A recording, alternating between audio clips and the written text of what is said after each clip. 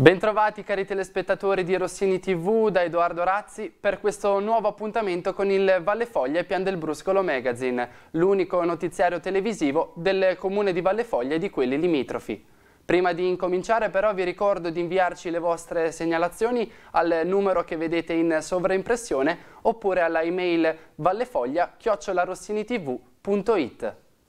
E partiamo subito con una notizia di cronaca, visto che è stato identificato un 34enne originario dell'Argentina residente a Rimini che qualche giorno fa ha rubato nella chiesa di Ostera Nuova un bottino di appena 100 euro. Per maggiori dettagli vediamo il servizio.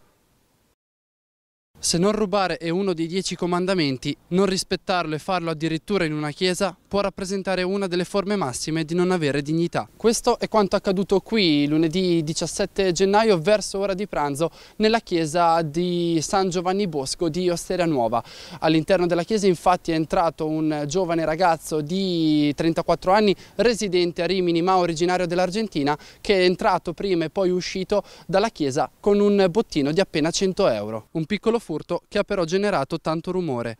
La confusionaria ricerca di denaro da parte dell'uomo all'interno della chiesa ha attirato l'attenzione di Don Marcellino Rediu, sacerdote della parrocchia che abita in uno degli appartamenti dell'edificio. Fin dalla sua abitazione infatti ha potuto sentire il rumore dei mobili che venivano spostati, portandolo poi a verificare quanto stesse accadendo. Una volta che si è ritrovato davanti al ragazzo, il parroco gli ha chiesto cosa stesse facendo e alla sua domanda il giovane argentino gli ha risposto che stava semplicemente curiosando, non facendo nulla di male. Uno strano atteggiamento da parte del giovane che è insospettito Don Marcellino che lo ha prima allontanato dalla chiesa, dopodiché il giovane si è dileguato, il parroco a quel punto ha deciso di denunciare l'accaduto ai carabinieri della stazione di Montecchio. La presenza delle telecamere hanno aiutato gli agenti a risalire ai movimenti e spostamenti dell'argentino avvenuti all'interno dell'edificio, portandoli a scoprire poi in quali punti aveva agito. Il ragazzo infatti aveva rovistato in diversi mobili, compreso quello in cappella che conteneva le offerte dei fedeli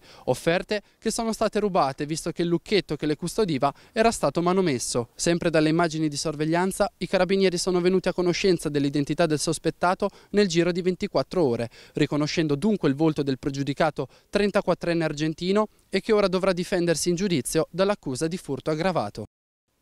E questa settimana in ricorrenza del 27 gennaio si è svolta la giornata della memoria, una ricorrenza alla quale la città di Monbaroccio è storicamente legata. Sentiamo ora le parole del sindaco Emanuele Petrucci. Una giornata molto sentita, quella della memoria, per il comune di Monbaroccio, che ha visto riaccendersi alcune iniziative nel ricordo dell'Olocausto. Il 27 gennaio è infatti stato oggetto della ripartenza del progetto Luci nel buio per la Shoah, che coinvolgerà per il quarto anno tutte le scuole di ogni ordine e grado d'Italia per realizzare elaborati dedicati ai giusti di quel terribile momento. Una ricorrenza alla quale la città di Monbaroccio è storicamente legata dall'importanza del Beato Sante, laddove in quegli anni di crudeltà furono salvate tantissime famiglie ebree e non. Il ricordo di chi subì in maniera così brutale non deve mai essere dimenticato e per il sindaco Emanuele Petrucci il coinvolgimento dei giovani è l'aspetto più importante. Coinvolgere i giovani su quello che è il fattore, il ricordo e soprattutto il giorno della memoria è per noi un elemento um, contraddistintivo. Bisogna che questa amministrazione eh, faccia nei prossimi anni un'attività ancora più intensa rispetto a quanto la sta, stia facendo, anche se non ci siamo mai fermati nel merito, per far sì che i nostri ragazzi possano preservare e raccogliere la testimonianza di quelli che sono i veri valori della vita, conoscendo anche appunto quelle che purtroppo sono le, anche le testimonianze di allora. Gli anni da quel tragico sterminio passano, il ricordo rimane, ma le testimonianze sono sempre meno. Abbiamo veramente pochissime testimonianze storiche purtroppo legate a quel periodo, eh, purtroppo sono, stanno venendo a mancare tanti anziani, fra cui coloro che ci ricorderanno questi, questi momenti. Abbiamo ad oggi ancora più il dovere di far sì che quella testimonianza e, e, quelle, e quelle, situazioni eh, non solo non venissero dimenticate, ma sicuramente non dovranno minimamente essere ripetute. E dal 24 gennaio al 21 febbraio 2022 è possibile presentare la domanda al Comune di Montelabate per tutte le famiglie in difficoltà economica per ricevere un contributo straordinario. Un sussidio promosso dall'amministrazione comunale per le spese sostenute nel 2021 a seguito del perdurare dell'emergenza sanitaria. Il contributo concesso è finalizzato alla copertura delle spese su bollette di luce, gas e acqua e può beneficiarne chi è residente nel comune di Montelabate, chi è in possesso di un titolo di soggiorno valido per i cittadini stranieri, chi ha un ISE in corso di validità pari o inferiore a 16.000 euro e chi non percepisce il reddito di cittadinanza superiore o uguale a 700 euro. Per maggiori dettagli è comunque possibile consultare la pagina social del comune di Montelabate. E sono giunti alla fase finale i lavori di costruzione della nuova sede del comune di Valle Foglia. Sull'innovativa struttura che sorgerà in via Pio La Torre in un punto centrale della città di Montecchio ne ha parlato il sindaco Palmiro Chielli.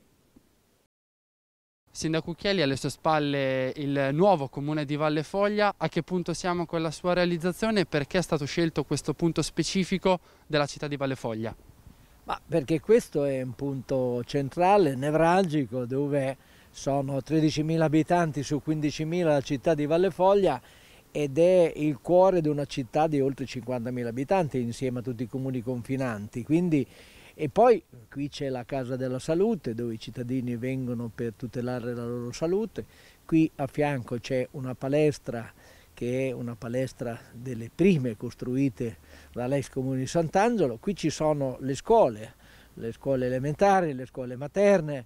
E qui è un centro commerciale dove ci sono 20-30 negozi eh, di più importanti. Risparmieremo parecchie risorse perché è chiaro che avere tutto in un luogo stiamo pensando come valorizzare tutto il patrimonio di Sant'Angelo Lizzolo col Bordolo e Montecchio e di Morciola, lasceremo degli uffici importanti soprattutto per le persone anziane diciamo nei centri collinari, le sedi degli ex comuni, ci stiamo ragionando, qui, eh, qui proprio dove siamo c'è sorgerà una bellissima piazza eh, importante che sarà la piazza delle scuole, sarà la piazza del centro salute, degli impianti sportivi, dei centri commerciali e eh, nasceranno oltre 100 posti macchina che è una delle cose importanti per eh, le strutture scolastiche, per le esigenze dei cittadini che vengono in questo centro commerciale. Tutti questi lavori saranno ultimati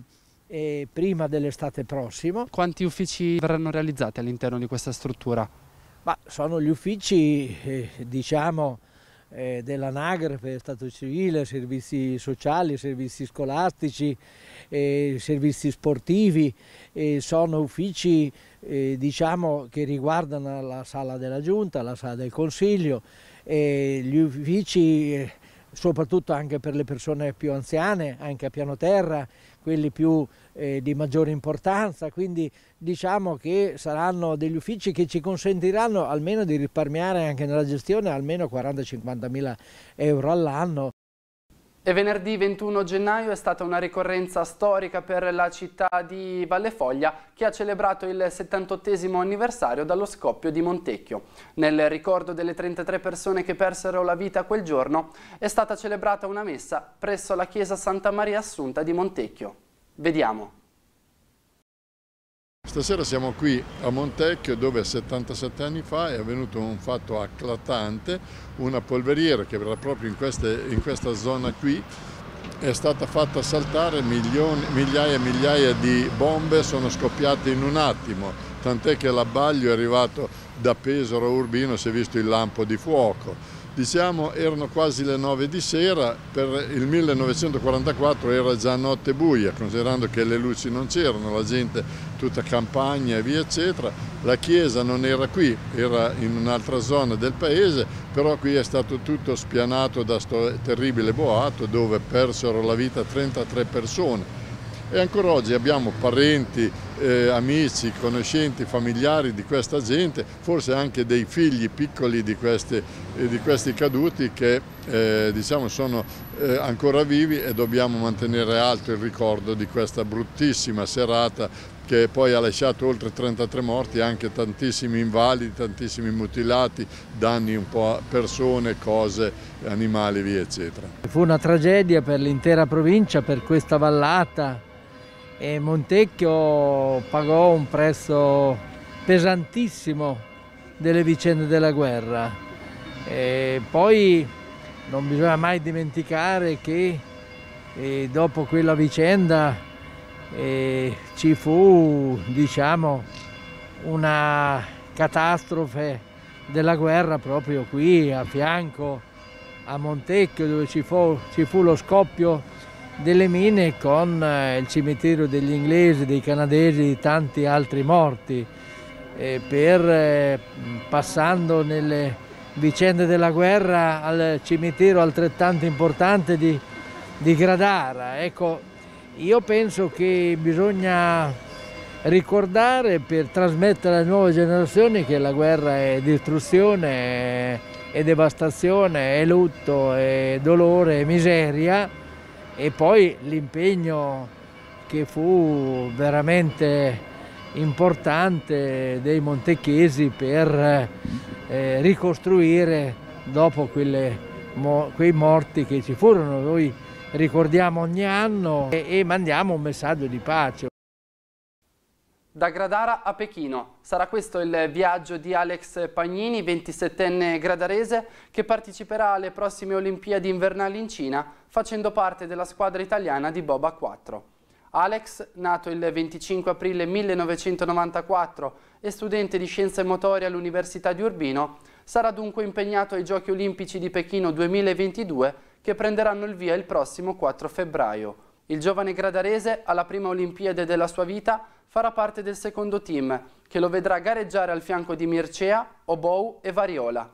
La gara che vedrà coinvolto Alex Pagnini si articolerà in quattro manche distribuite su due giorni, il 19 e il 20 febbraio. E concludiamo il nostro TG con altre notizie di sport partendo dalla pallavolo. La Megabox Valefoglia è infatti uscita sconfitta dalla trasferta di Chieri con un passivo pesante di 3-7-0. La squadra allenata da coach Bonafede tornerà domenica a giocare in casa contro Bergamo, dove ospiterà una sfida decisiva per la rincorsa alla salvezza. Ancora in attesa di scendere in campo invece il calcio dilettantistico, che vedrà i campionati di eccellenza, promozione, prima, seconda e terza categoria riprendere il prossimo 6 febbraio. E con lo sport si conclude questa nuova edizione del Valle Foglia Pian del Bruscolo Magazine. Io vi ringrazio per averci seguito, vi rinnovo l'appuntamento a venerdì prossimo e vi auguro un buon proseguimento di serata.